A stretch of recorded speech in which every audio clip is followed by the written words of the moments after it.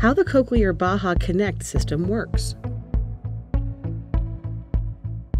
The Baha Connect system uses a small abutment to attach the sound processor directly to the implant.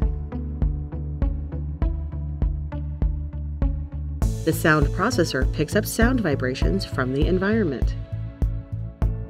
The sound vibrations are transferred through the abutment to a small titanium implant inserted in the bone behind the ear.